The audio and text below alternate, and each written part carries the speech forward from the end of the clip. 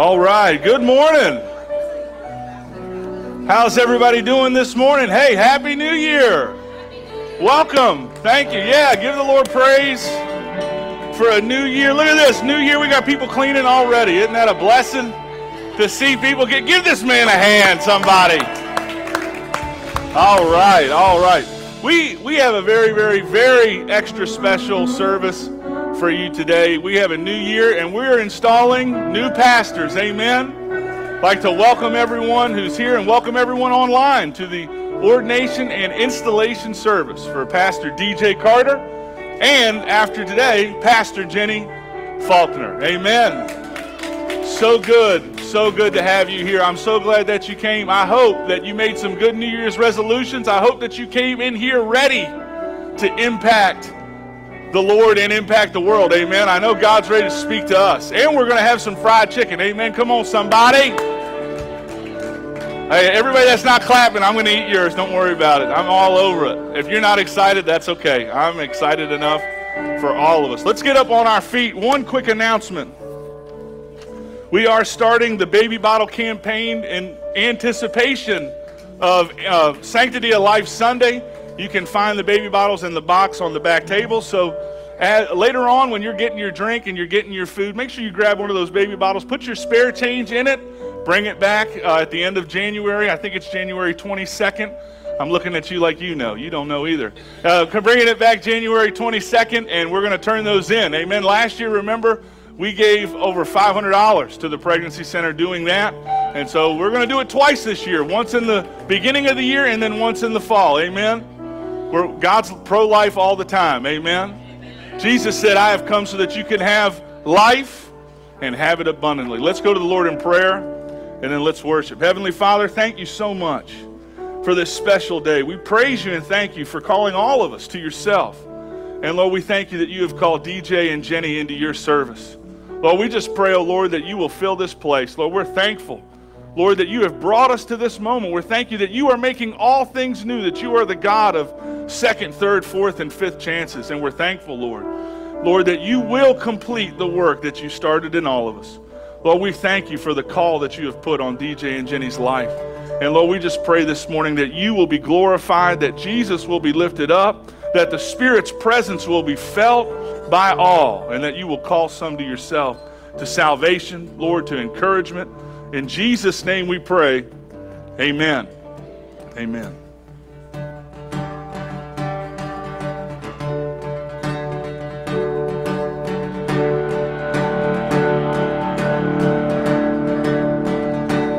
I was buried beneath my shame.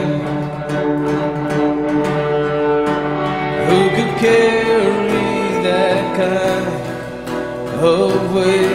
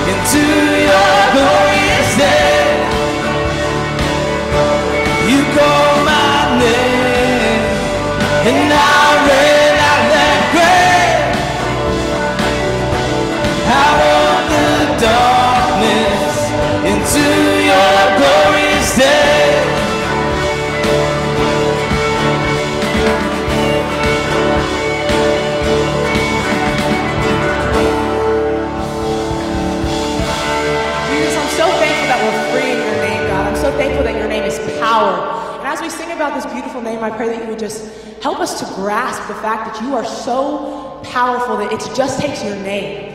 It just takes your name to free us and take us out of that grave, God. You paid for it all. And I pray that as we just, as we sing this song, that you would just open our hearts, prepare us to worship you, Lord Jesus. I pray that we wouldn't feel any shame, that we wouldn't think about what's happening around us, God. I pray that we would just fully immerse ourselves in your presence.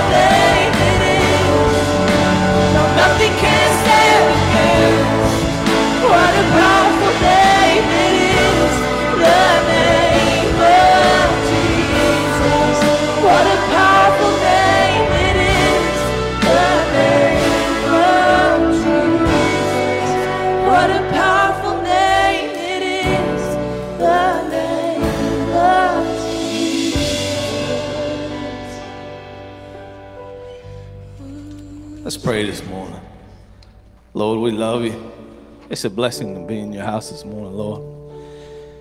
Just thank you for everything that you've given us the previous year and looking forward to the future, Lord. Be with everybody here today, Lord. It's a special day. Be with Jenny. Be with DJ. Lord, let them know that the church loves them, Lord. We love them. Be with all the pastors in here, Lord. We love you and praise your name. Amen.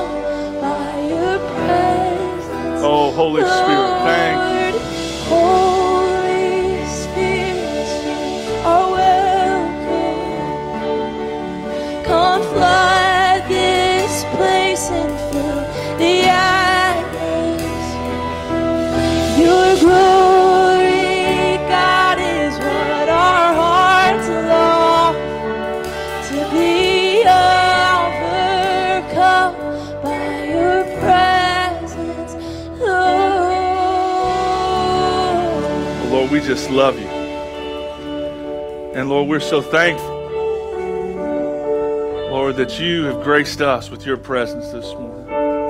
But we are so unworthy. We are so unworthy of you. You are a holy, righteous, perfect God dwelling in inapproachable light. And despite all that, the Word became flesh and dwelt among us. Lord, you have chosen, you have decided to call us. You've decided to partner with us. You've decided to use us. You created us. We are your workmanship, created for good works that you have prepared in advance. And Lord, we're so grateful this morning that it's by grace we have been saved. It's not of works so that none of us can boast. All of us have to look up, and all we can say is, Thank you, Jesus. All of us have to look up and say, Oh, wretched people that we are, but you clothe us with the righteousness of Christ. Lord, we just thank you this morning that you're still calling people. You're calling people right now. You're calling all of us to yourself. And then you call us into your service. Lord, it is an honor and a privilege to serve the living God. And Lord, we just take a moment, Lord, before we move on, just to say thank you. I'm so thankful, oh God. We have an opportunity right now for a fresh start, for a new day, for a new moment. So, Lord, thank you. Thank you. And all God's people said, Amen. Amen. You can be seated.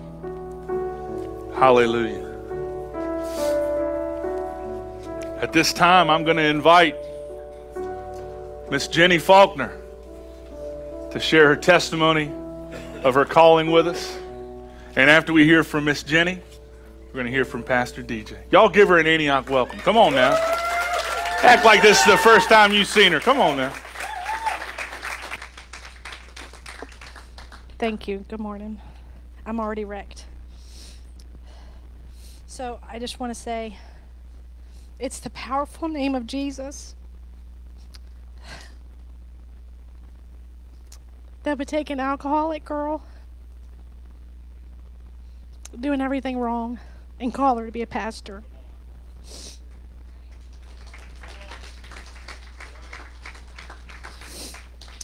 I want to read Psalm 116 because it is my testimony. I'm passionately in love with God because He listens to me. He hears my prayers and answers them. As long as I live, I'll keep praying to Him, for He stoops down to listen to my heart's cry. Death once stared me in the face, and I was close to slipping into its dark shadows. I was terrified and overcome with sorrow. I cried out to the Lord, God, come and save me. He was so kind, so gracious to me because of his passion toward me. He made everything right and he restored me. So I I can't see it. so I've learned from my experience that God protects the vulnerable. For I was broken and brought low, but he answered me and came to my rescue. Now I can say to myself and to all, relax and rest, be confident and serene, for the Lord rewards fully those who simply trust in him. God has rescued my soul from death's fear and dried my eyes of many tears. He's kept my feet firmly on his path and strengthened me so that I may please him and walk before Yahweh in his fields of life. Even when it seems I'm surrounded by many liars and my own fears, and though I'm hurting in my suffering and trauma, I still stay faithful to God and speak words of faith. So now, what can I ever give back to God to repay Him for the blessings He's poured out on me? I will lift up His cup of salvation and praise Him extravagantly for all He's done for me. And I will fulfill the promise I made to God in the presence of His gathered people. When one of God's holy lovers dies, it's costly to the Lord, touching His heart. Lord, because I am your loving servant, you have broken open my life and freed me from my chains. Now I worship you passionately and bring you my sacrifice of praise, drenched with thanksgiving. I'll keep my promise to you, God, in the presence of your gathered people, just like I said I would. I will worship you here in your living presence, in the temple here in Scottsville. I will worship and sing hallelujah, for I praise you, Lord. And I have found my tribe here. You, Antioch,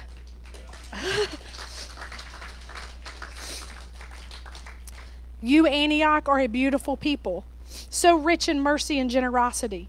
You are the hands and feet of Jesus. God made it clear to us in the fall of 2021 that we were to come serve this house and to be all in. We had only come a handful of times, but we were instantly family. We were we um, were grafted in through your warmth and love.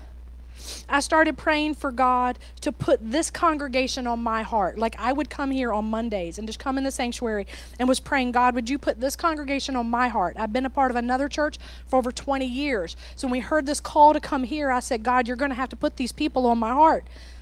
And um, one Sunday I came and Angela came running up to me and she said, I'm so glad you're here. God has been waking me up in the middle of the night to pray for you. And God said, "You prayed that you that I would put this congregation on your heart, but I'm going to put you on theirs." And one Saturday morning I had been praying with a friend and this heart cry came out of me that I didn't realize was still there. And we just started weeping and praying. And I said, I still have a heart to serve the youth. God called me to serve youth, and He's not done with me there yet. And we just prayed and prayed and prayed. And that was on Saturday. And on Sunday morning, I came in, and there was these posters up here. And one of them said how sweet it was to be a youth leader. And I snapped a picture of it, and I sent it to that friend and said, Here's my sign.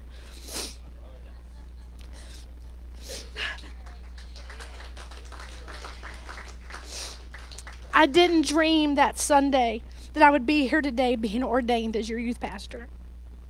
I just knew I was called to serve this house and this family of believers. I love you all so much, and I know I'm home.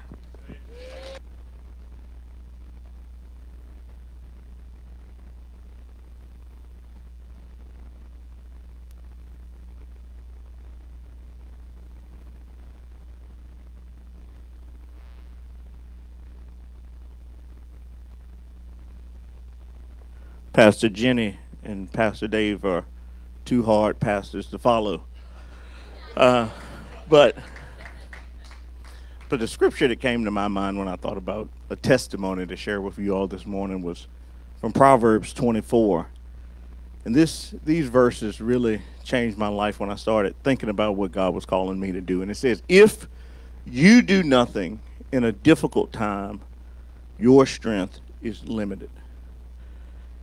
It says, "Rescue those being taken off to death, and save those stumbling toward slaughter." If you say, "But we didn't know about this," won't he who weighs the heart consider it? Won't he who protects your life know it? Won't he repay every person according to his works? Then it says this Eat honey, my son, for it is good, and the honeycomb is sweet to the palate. Realize that wisdom is the same for you. If you find it, you will have a future, and your hope will never fade. And so I, I shared just a little bit of this in my story, but my my parents had me at a very young age and they had no desire whatsoever to have a baby. And I think about how many times in my life God has rescued me or has saved me or has held back death from me. And I just think about how good it is to be in fellowship with people who are also concerned about those who are stumbling towards slaughter. So that's how I became connected to Antioch for real, for real. Now, my real relationship to Antioch goes back even further. See, when I was two years old, I tugged on my pastor's robe and I said, I want to be baptized. And they said, We have something called the age of accountability, and you're way too young to get baptized. So he said, But if you turn, when you turn three, I knocked this over. I see Dave is concerned about it. There you go. Water's dripping again. Somebody else have to pick it up later. Uh, but when God said that to me, that, that I was called to serve Him, to worship Him, I was just two years old, and they said, "Come back when you're three. So I, so on my third birthday, I tugged on his robe again, and I said, "I'm three now." And they didn't want to baptize me, so they had to go to somebody's house and do it in a pool.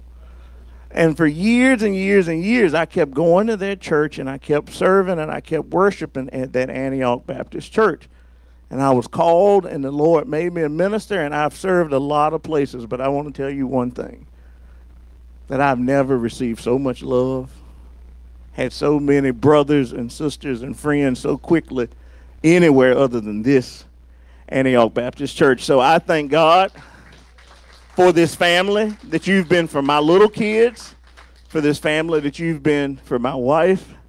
And I grew up and I always thought I was too black for the white church and too white for the black church, and I never knew where I would fit. And I'm so glad that I found a home as well. So thanks be to the Lord. I almost slipped on that water.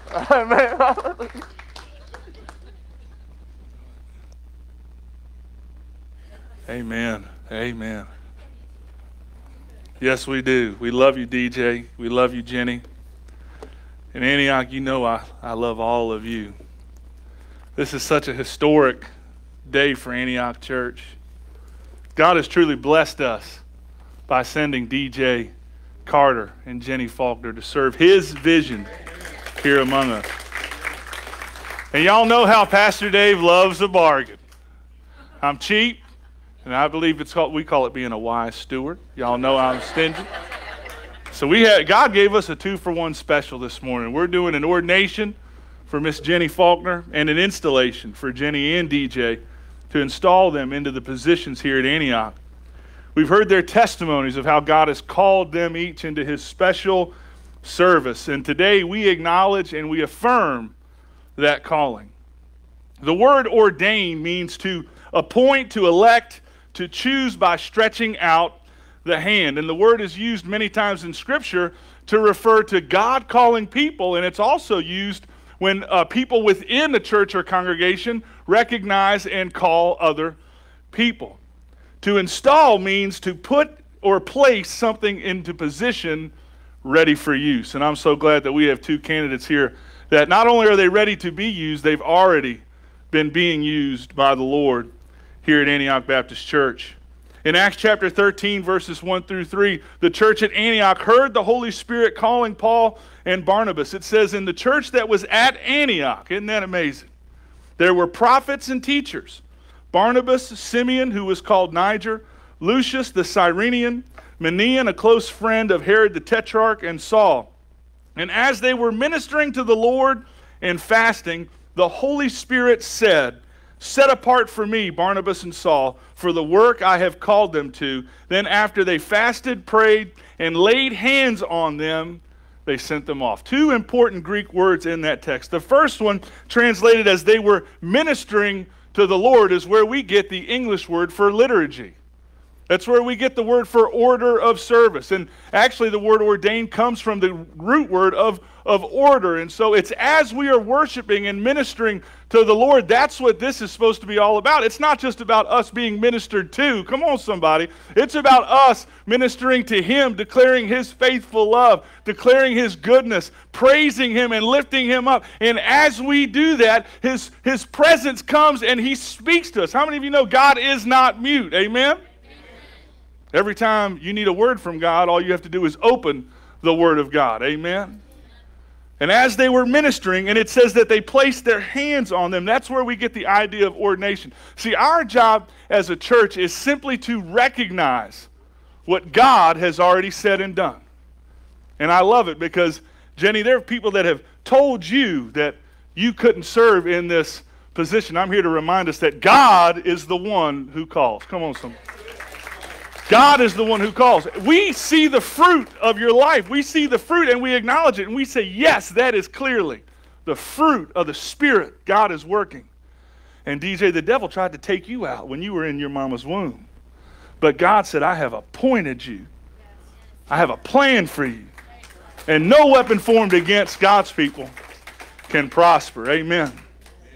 Today, we, the people of Antioch Baptist Church, bear witness to the Holy Spirit that Jenny and DJ have received the call to gospel preaching ministry and that the Holy Spirit has specifically led them to serve Him here at Antioch. God has raised you up and called you for His service. And this morning we confirm God's call as His representatives. We set Jenny apart as a preacher of God's Word and as a minister of His church. And we will install Jenny as youth pastor and DJ as associate pastor.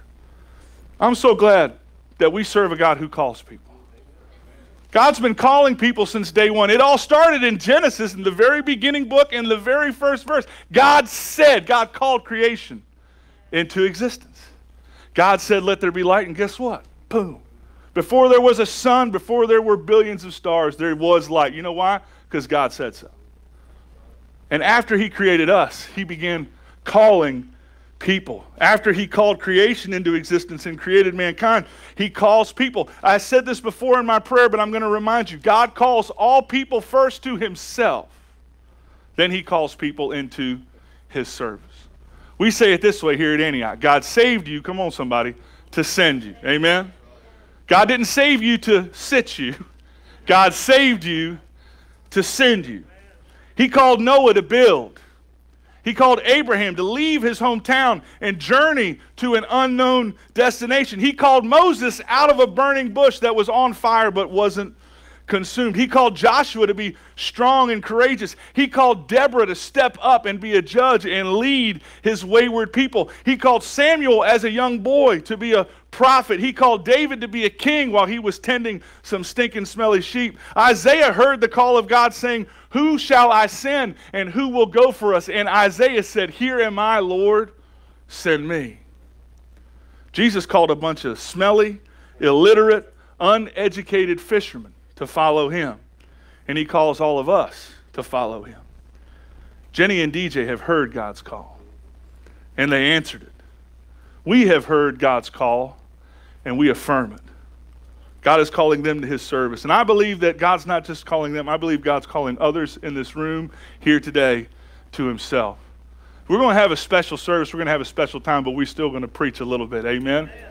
God calls the wandering, and God calls the wayward, and then God calls his workers. Isaiah 55 says, Come, Everyone who is thirsty, come to the water, and you without silver, come buy and eat. Come buy wine and milk without silver and without cost. Why do you spend silver on what is not food and your wages on what does not satisfy? Listen to me and eat what is good, and you will enjoy the choicest of foods. Pay attention and come to me. Listen so that you will live. I will make a permanent covenant with you on the basis of the faithful kindness of David, since I made him a witness to the people, a leader and a commander for the peoples. So you will summon a nation you do not know, and nations who do not know you will run to you, for the Lord your God, even the Holy One of Israel, has glorified you. Seek the Lord while he may be found, call to him while he is near. Let the wicked one abandon his way, and the sinful one abandon his thoughts, and let him return to the Lord so that he may have compassion on them. And our God will freely forgive. For my thoughts are not your thoughts, and my ways are not your ways, declares the Lord. For as heaven is higher than the earth, so my ways are higher than your ways, and my thoughts higher than your thoughts. For just as the rain and the snow fall from heaven and do not return there without saturating the earth and making it germinate and sprout and providing seed to the sower and food to the eater, so my word that comes from my mouth will not return to me empty, but it will accomplish what I please, and it will prosper what I send it to do. And you will indeed go out with joy and be peacefully guided and the mountains and the hills will break into singing before you, and all the trees of the field will clap their hands. Instead of a thorn bush, a cypress will come up, and instead of the brier, a myrtle will come up. They will stand as a monument for the Lord, an everlasting sign that will not be destroyed. Do you hear Jesus calling you today? He says, Come, anyone who's thirsty. Come. If you're broke, good news is salvation is free. Come on, somebody. And you couldn't buy it if you had all the money in the world. Jesus called out to the beaten and the worn out in Matthew 11. He said, Come to me, all of you who are weary and heavy burdened, and I will give you rest. All of you, take up your yoke and learn from me, because I am gentle and humble in heart, and you will find rest for your souls. For my yoke is easy and my burden is light. I hope you hear God's calling you today. God is calling out to some to bring you into relationship with Him, to give you the love that you have been looking for in all the wrong places. He's calling out to some who are weary and burdened, and you're going to have a chance at the end of this special service to answer that call. And when you hear God's call, do yourself a favor and answer it. And if you miss God's call, come on, somebody, don't worry, He will call again. Aren't you glad? If you, if you miss God's call this morning, He's going to call you back. And when He does, answer it. Answer it. For the Bible says that everyone who calls on the name of the Lord shall be saved. DJ and Jenny, I want to read a prayer to you written by Bob Moorhead. He writes this God, give us those ribbed with the steel of your Holy Spirit, those who will not flinch when the battle is fiercest, those who won't compromise or fade when the enemy rages. God, give us those who cannot be bought battered or badgered by the enemy. Those who will pay the price, make the sacrifice, stand the ground, and hold the torch of truth high. God, give us those obsessed with the principles true to your word, those stripped of self seeking and a yearning for security, those who will pay any price for freedom and go to any lengths for truth. God, give us those delivered from mediocrity, those with vision high, pride low, faith wide, love deep, and patience long. Those who will dare to march the drumbeat of a distant drummer. Those who will not surrender principles of truth in order to accommodate their peers. God, give us those more interested in scars than medals, more committed to conviction than convenience. Those who will give their life for the, in, for the eternal instead of indulging their flesh in their lives for a moment in time. God, give us those who are fearless in the face of danger, calm in the midst of pressure, bold in the midst of opposition. God, give us those who will pray earnestly, work long, preach clearly, and wait patiently.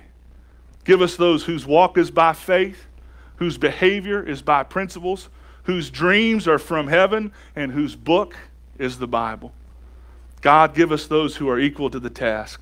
Those are the men and the women that the Church of Jesus Christ needs today. And DJ Carter, you are such a man. And Jenny Faulknier, you are such a woman. Yeah. May both of you be faithful to what God has appointed you to for such a time as this. I'm going to ask Reverend Skip Wallace from the Baptist General Association of Virginia to come and give a charge to the candidates. And after that, Elder Tommy Aldridge. I'm glad you came, Tommy. I didn't see you. I was getting a little nervous. After that, Elder Tommy Aldridge is going to come and charge us as a congregation. Ready to go, brother. Thank you. How many of you uh, were up until midnight last night to see in the new year? How many of you woke up this morning and thought, oh my gosh, I, am going to church? Don't raise your hand. You don't have to raise your hand on that one. But how many of you are glad you're here today? I am so glad to be here. Dave, thank you for inviting me to be here. Uh, Jenny, I'm excited for you. I, am so glad to know your story. I've met Jenny before and was able to hear her story. Uh, DJ, I'm so glad to be here and to meet you today. Thank you for letting me be a part of this service today. Jenny told me, and I hope you don't mind me saying this, Jenny, but right before the service, she said, I as a younger child had somebody say to me she said I, I, wonder if i'll ever be in the church leading in the church. And, and the lady said no you're just going to be somebody who's just going to attend on sundays. That's all you're going to be. Aren't you glad people can be wrong? And aren't you glad that god is never wrong? And aren't you glad that god calls those that other people don't see? I, I had some jenny I went back to my church that I grew up in in Oklahoma City, Oklahoma, uh, and they asked me to come preach the 90th anniversary about 15 years ago. And I was there greeting people, and one of my old Sunday school teachers came up, and, and I said, Wow, did you ever think I'd be in this position? And I thought she'd say, Oh, Skip, I saw the wonder in you and the majesty of God in you back when you were eight years old. And she looked at me and she said, No, I never thought you'd be here. Aren't you glad that God sees what other people don't see? I love the call of Jeremiah. The call of Jeremiah in Jeremiah 1 4 through 9 tells us some powerful things about how God works in our lives. I want to read that to you. Jeremiah chapter 1, verses 4 through 9 says this The word of the Lord came to me, saying, Before I formed you in the womb, I knew you. Before you were born, I set you apart. I appointed you as a prophet to the nations. Ah, oh, sovereign Lord, I said, I do not know how to speak. I am too young. But don't you love that there are buts in the Bible? And I need that, I, I mean that in a positive way, okay? A good way. But the Lord said to me, Do not say I am too young. You must go to everyone I send you to and say whatever I command you. Do not be afraid of them, for I am with you and will rescue you, declares the Lord. Then the Lord reached out his hand and touched my mouth and said to me, I have put my words in your mouth. Throughout the Bible, we find a God who is a God who calls. Yes, he calls specific people to specific tasks at specific times, just as we're celebrating today. But I want to emphasize something that Dave has already emphasized this morning. He begins that call with a call into relationship. He begins that call by saying, Come to me, all who are weary and heavy laden, and I'll give you rest. If you're here today and you haven't found your rest in Jesus Christ, if you haven't found your relationship in Jesus Christ, that's the beginning point. He begins by calling us into relationship. Jenny, DJ, you're here today because God called you into relationship with Him. We're here to set you apart. We're here to recognize your gifts, your talents, your ability, but we're first here to recognize that God has a special relationship with you. He called you, He knew you even before you were two years old. He was talking to you in your mama's womb. He was preparing you and, and anointing you and getting you ready for where you are today. Hallelujah. God calls us into relationship. Thank you for your stories. I'm so excited that God has led you here to this church. And I'm so excited for this church that you've recognized God's calling in these two's lives. And that you're doing something that not many churches, many Baptist churches would be willing to do. Uh, there's not many Baptist churches that are predominantly white that are going to call a black man to be a pastor in their church. Thank you for not seeing his skin color.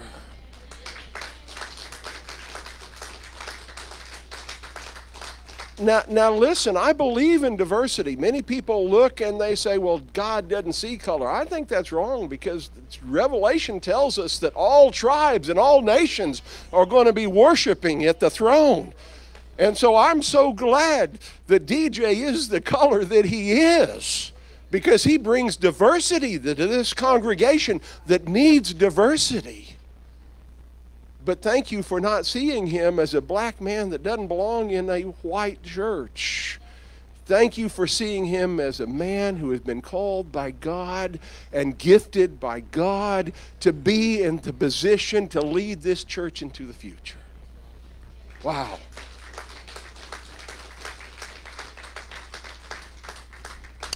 Not many Baptist churches are going to call a female to be a pastor of anything. But one of my favorite passages is Luke 8. And people don't realize this. In Luke 8, uh, there's a story of, of Jesus who is calling and leading and directing people. And in Luke 8, it says, After this, verse 1, Jesus traveled about from one town and village to another, proclaiming the good news of the kingdom. The 12 were with him, and also some women who had been cured of evil spirits and diseases. Mary called Magdalene, from whom seven demons have come out. And Jenny, thank you for letting Jesus cast the demon of alcohol out of you. Joanna, the wife of Chuza, the, the manager of Herod's household, Susanna, and many others, many others. These women were helping to support them out of their own means. And listen, you know, we miss so much by not knowing the original language. And, and that's what's so important about having pastors and others, leaders, helping direct this. You know, that, that, that Greek word helping support them is the word diakonia. you know, you know what word we get diakonia in English? Deacon. You know, the first deacons mentioned in the Bible were the women's who were deaconing Jesus.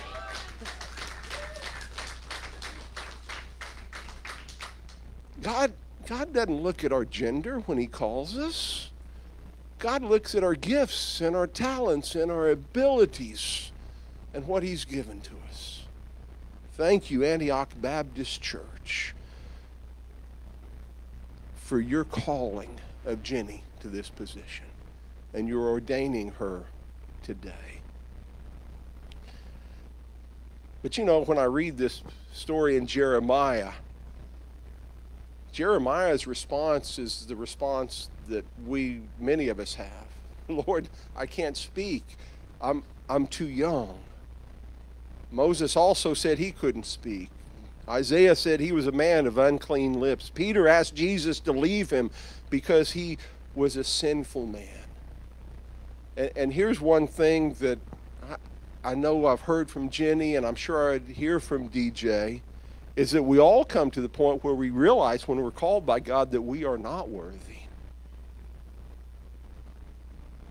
You know, we read scripture passages like all have sinned and fallen short of the glory of God, and there's none righteous, no, not one. And we love to quote those verses to non Christians. but you know what? Paul wrote that to the church at Rome. Paul wrote that to Christians, not to non Christians.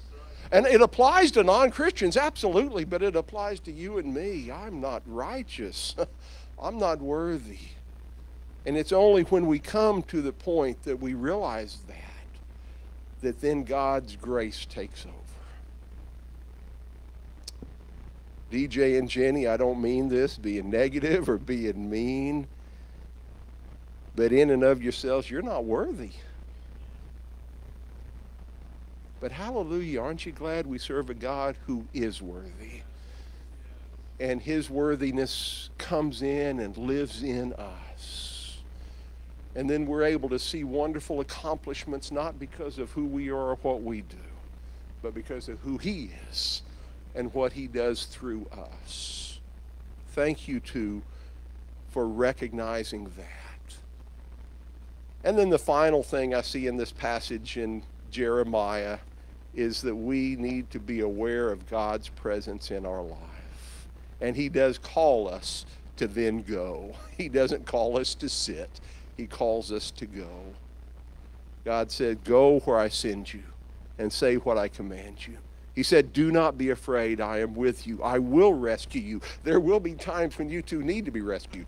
And I'm sure that you've already recognized that already. You've both been in churches already. And, and, and we know we have an enemy who's roaring like a lion, ready to devour us, as Peter tells us. So, so we have a terrible enemy. Unfortunately, sometimes we have enemies in churches too.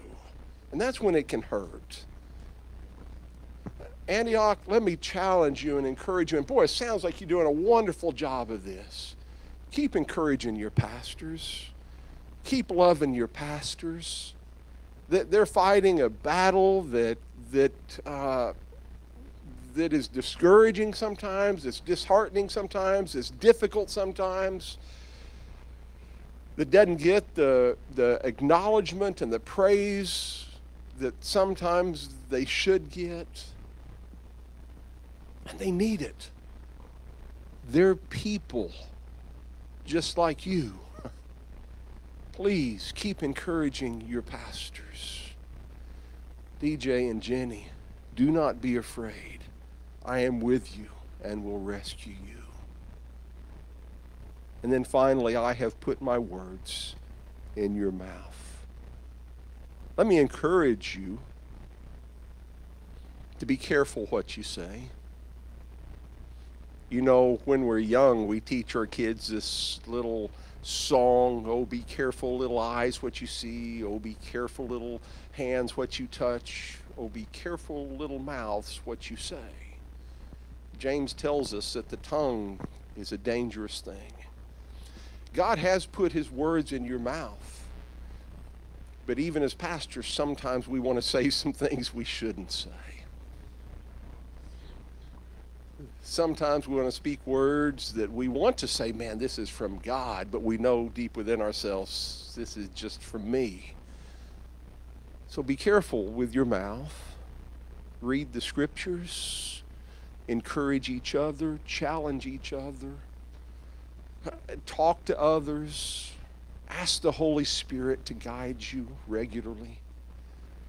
Be careful what you say because these people are listening to your words closely and they're meaningful to them. They want to hear a word from God from you. So when you speak, Lord, help me to say the words that are encouraging and challenging and motivating. But understand this God says, I have put my words in your mouth. So don't be afraid to speak. Just be careful what you say. I'm going to ask the two of you if you'll come up here, and I'm going to have a challenge to you, read a challenge to you, and would ask you to respond. So if you'll just, I'd tell you what, why don't you just stand right down here? No, I'm going to, you're right. Come on up here, right by me. I'm going to change my mind. Here. You two just stand right together, right over here.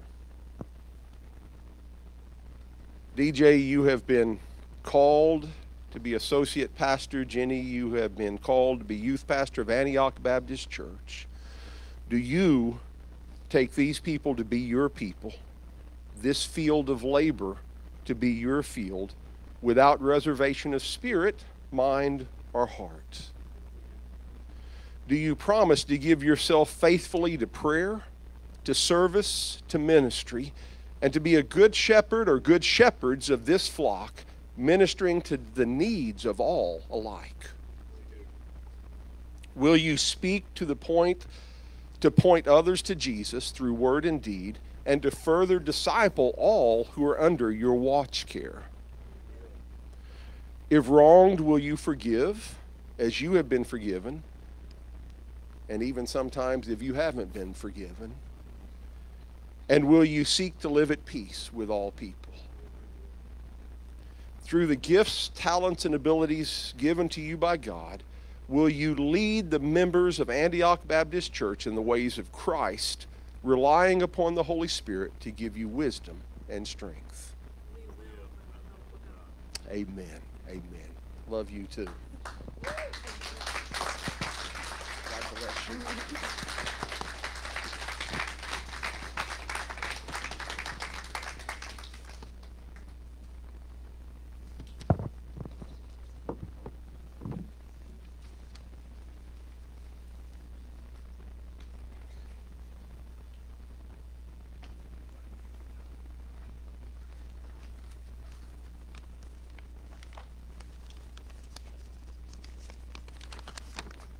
Antioch.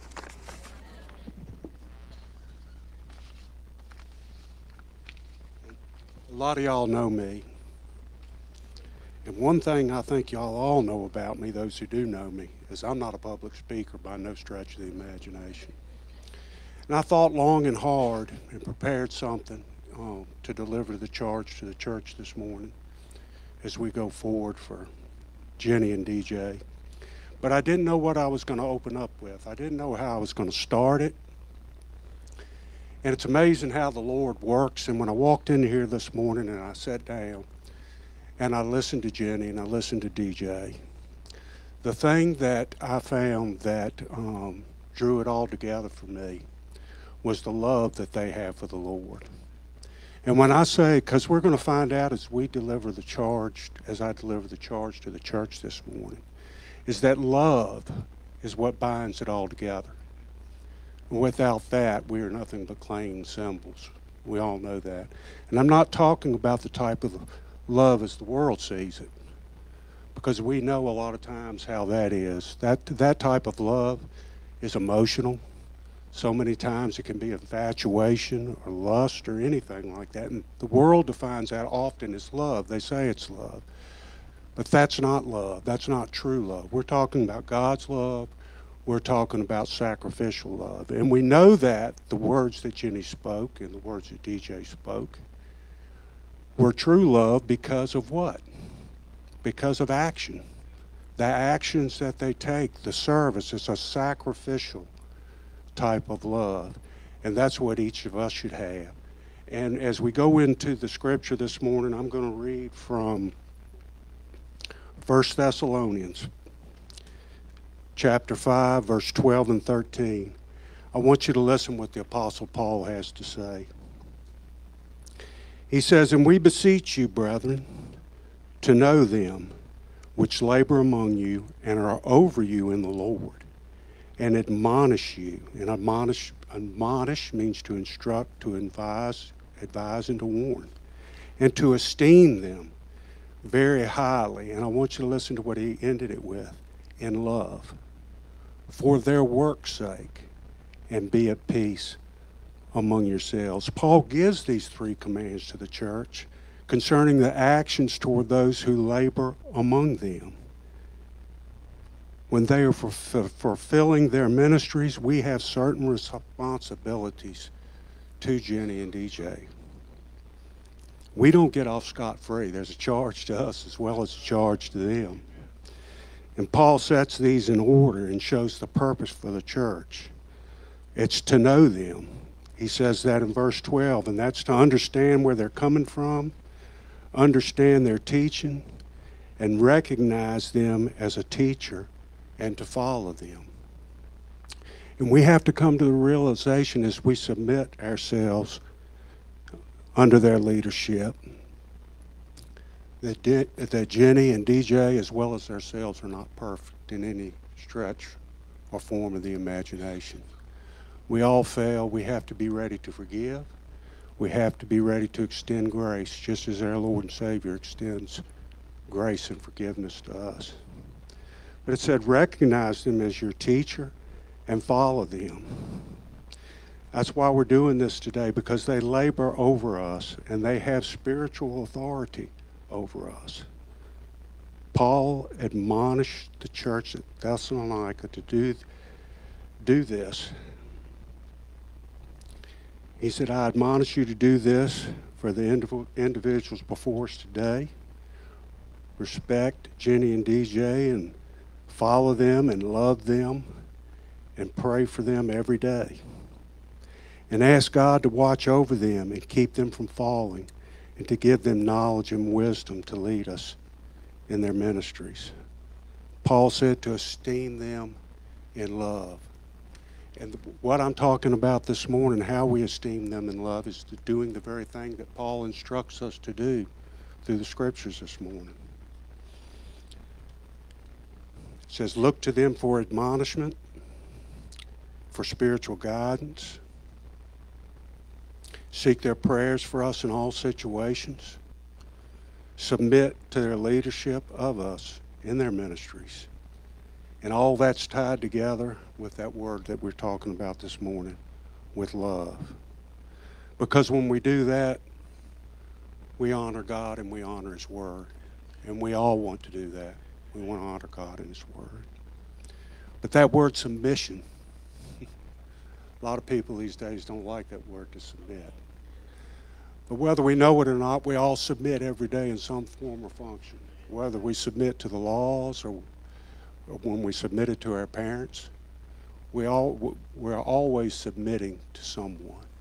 And the only thing that keeps us from submitting is that worst of all sins, and that's our pride. Our pride will commit us from, will keep us from being able to submit. So we need to remember to love them and to submit ourselves. It says when we honor and respect the ones in authority over us, we, we will then be able to follow Paul's next admonition, which is be at peace among yourselves. Peace only comes when we submit to the authority God has placed over us. For the faithful minister, it is a submission to the Holy Spirit. For the wife, it is submission to the husband. For the children, it is submission to the parents. And for the church, it is submission to the faithful minister that minister over you. Only when these things are in place can we follow this last admonition and be at peace. And we want to be at peace. We want others to see Jesus in us. We want to work in peace and unity. We want to love. We want to connect. We want to go and we want to grow. And as we live in peace, worship in peace, not only will we be more fruitful in our own lives, we will also see it evidenced in the church as it grows, as Christ's church grows. In conclusion, this is when y'all will respond. This is the charge. Will you, as a church body, accept this charge to you, committing to pray for, to esteem, to recognize, and to follow Jenny and DJ as pastors, to submit to their authority and their guidance as we seek the Lord's will for the church? Will you accept this charge? Thank you. Amen. There's a public speaker in there somewhere, Tommy Aldrin. Hey, love you, man. Oh, that was so good. I'm going to ask the worship team to come back and play softly. We're going to have a time of prayer over DJ and his wife Sarah, and over Jenny and her husband Chili. My favorite pastor's husband in the world, right there. Chili, Chili Willie. DJ and Jenny, would you come and sit? Jenny and Chili, would you come and sit? And as we pray, we want to invite any member of the congregation during this time come up and pray over Chili and Jenny and over DJ and Sarah. Encourage them. Pray God's blessing over them. Tell them good job. Tell them how much you love them. And after we've done that for a while, and the rest of you, while we're not praying, we're going to worship. So if you all want to stand, and after we've done that, the lovely Laura Vogt is going to pray over Pastor Jenny. And our chairman of deacons, Kevin Helms, is going to pray over Pastor DJ. If you feel led, please come. Show your support. Pray a prayer blessing over our pastors.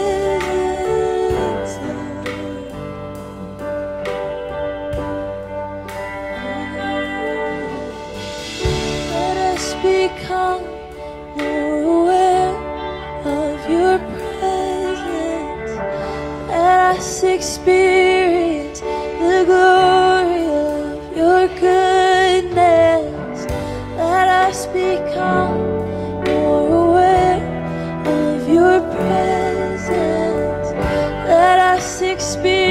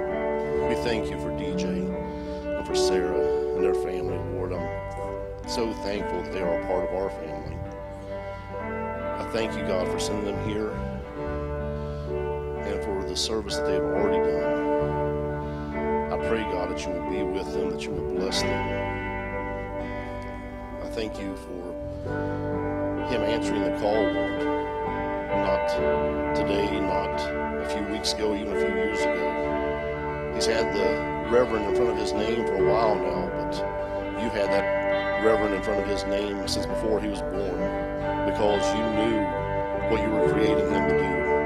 You knew where you were sending, you knew who, whose lives he would touch, Lord. And we thank you for that foresight. We just pray, God, for them, their family, that you will bless them, the things they do here at Antioch, the things they do out in the world, Lord. I pray, God, that you will just guide them, that they will always follow you, that they will lead us, Lord. And we put all of our faith in you, Lord. But we know sometimes putting our faith in you means putting our faith in other people, Lord. And we have faith in DJ and Sarah and their family, Lord, as they lead us because they have faith in you. We will follow them because they follow you.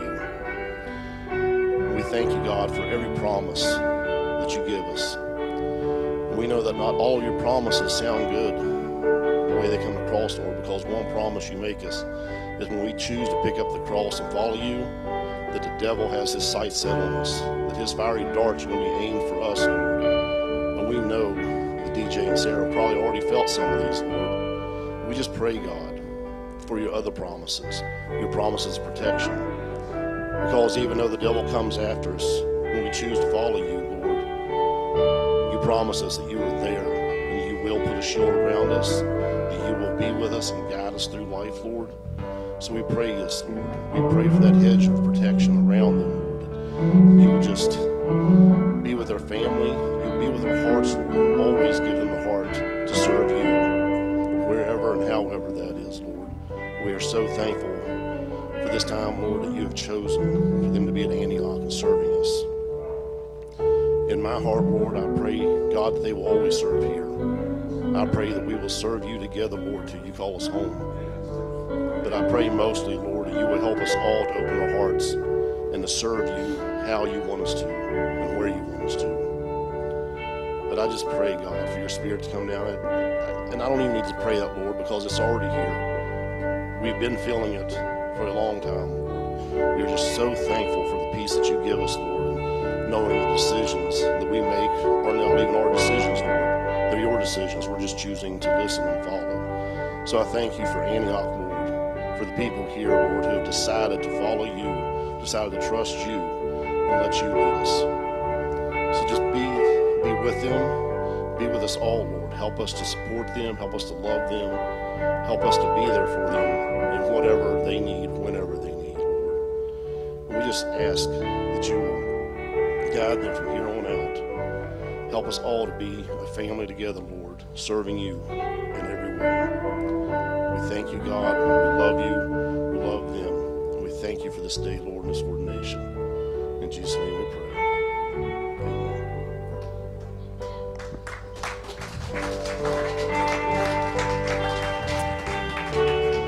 If you will, join me in praying over Jenny and Chili. Lord, I just thank you for your call. Thank you, Lord, that you answer prayers. Lord, that you've heard Dave and I's prayer for years, asking and pleading and begging for somebody to come and to be there for our teenage children. And Lord, I thank you, God, for Jenny's obedience to the call. Lord, I just pray, God, that you would just fill her with your Holy Spirit now, Lord, that you would anoint her, oh God.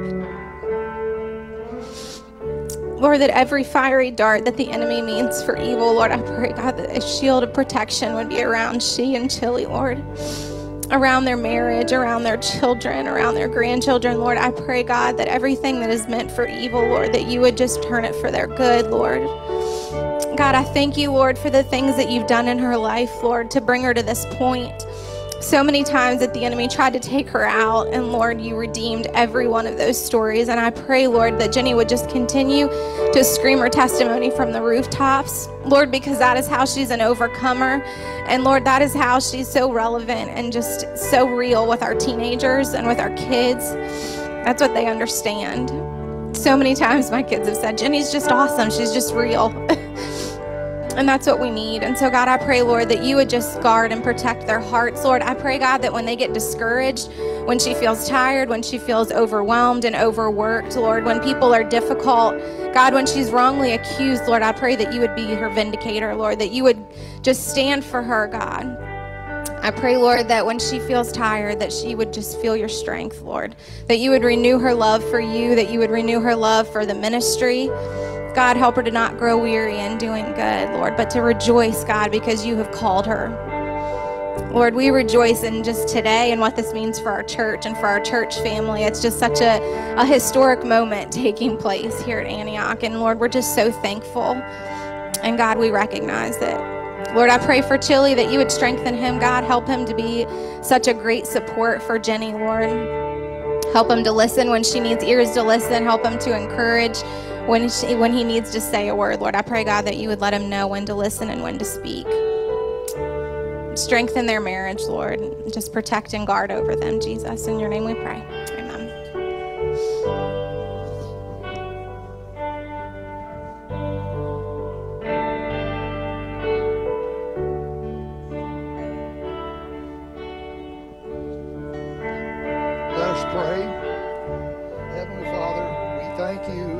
Praise you for the blessings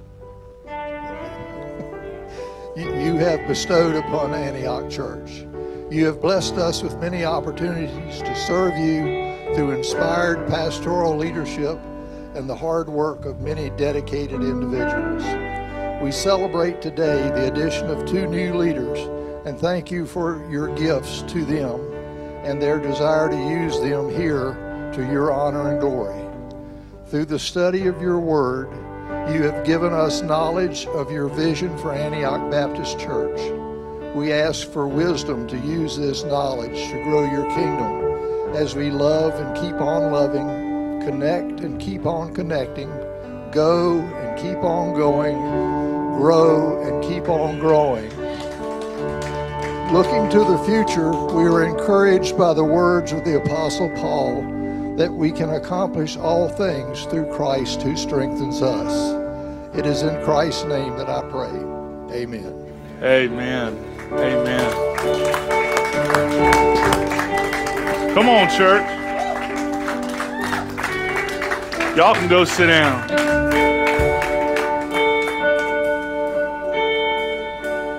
It's on. Go ahead. First of all, I'd just like to thank my wife and just tell her how proud I am of her. And I'd like to thank all of y'all for coming out. I appreciate everybody coming, to family, and supporting us. Uh, DJ, thank you for you and your family as well. And just thank you, God, for this church. Y'all really welcomed us in here just like family, and greatly appreciated for that. Thank you. We got you back, bro. Thank you, Chili. We have one last order of business before we partake in the Baptist bird. The rest of you have been sitting and watching and no doubt feeling the presence of Almighty God. We've acknowledged God's call on DJ and God's call on Jenny, but now it's time for some of you to answer God's call on your heart. We're going to sing about that beautiful, wonderful, and powerful name of Jesus. And if there's any here that have felt God calling you to Himself, calling you to that relationship, the gift of eternal life is available. The gift of encouragement and strength and a fresh filling of the Holy Spirit is available. If you need it, as we sing, come and get it. The altars are open, and we'd love to pray with you. Let's sing.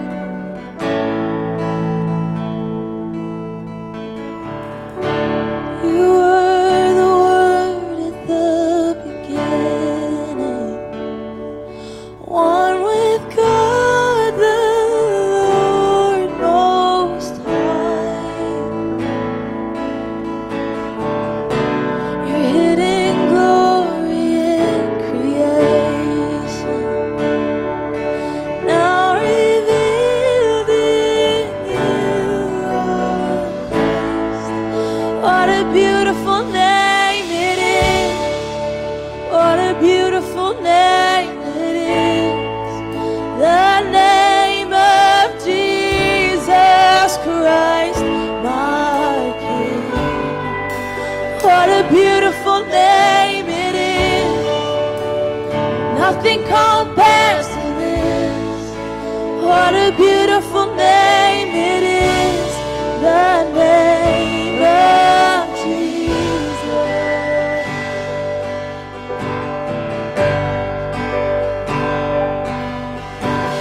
I didn't want heaven without us, so Jesus is.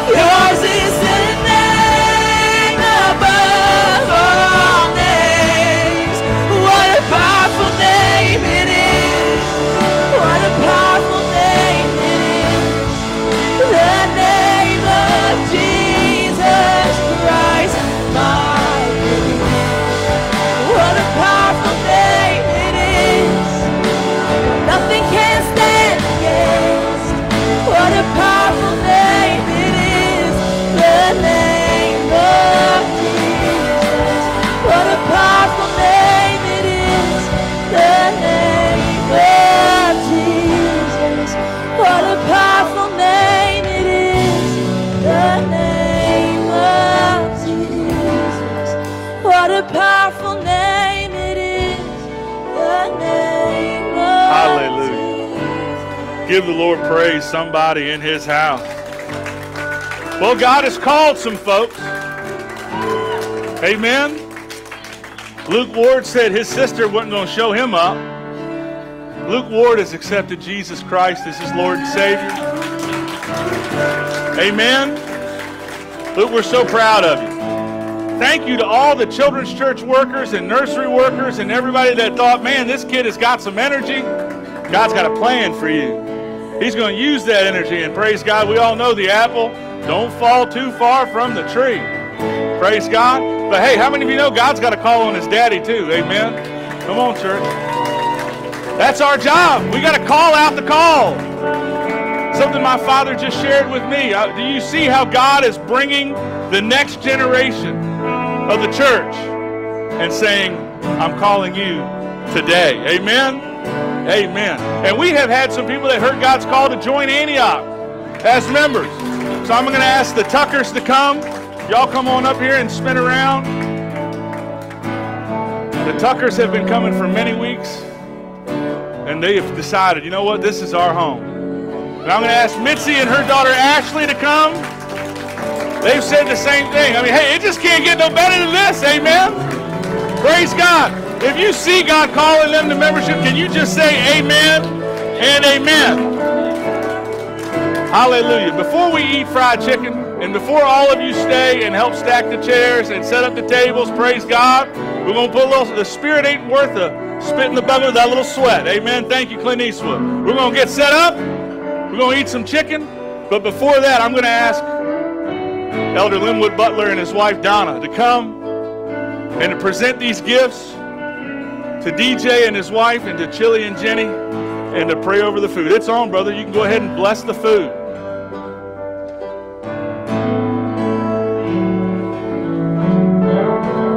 See, I'd like to have uh, DJ and Jenny come up here if it will. The uh, church family has gotten some gifts for them for this very special uh, ordination service day. And I look at 2023 as going to be some kind of year this year. With this, this church is so excited. I just see uh, so much happening with the youth, so much happening with DJ and Dave. And Lord, I just thank you and praise you for each and everything. Right, but the uh, also we given a bouquet of flowers to Sarah and one to Jenny, and we'd like to, uh, you know, thank them for that. And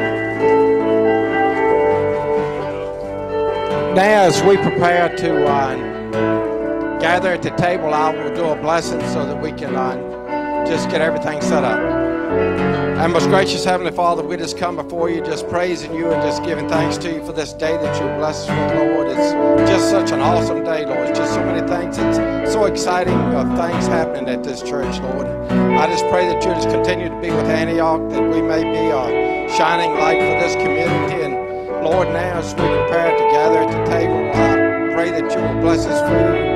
It'll be used for our nourishment, our bodies, and with that to further your kingdom here on this earth. In your name we do pray. Amen. Amen. God bless you. Thank you so much for coming. Stay and eat with us.